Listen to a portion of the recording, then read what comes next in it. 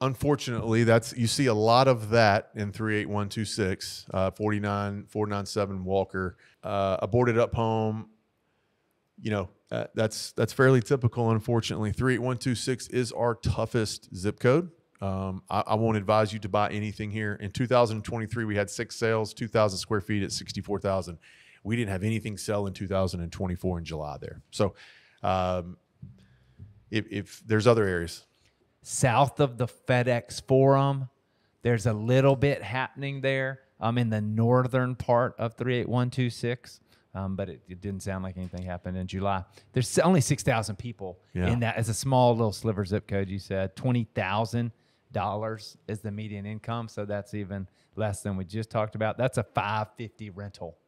yeah, Um, so thousand parcels. That's the smallest parcel count. Built in 1960.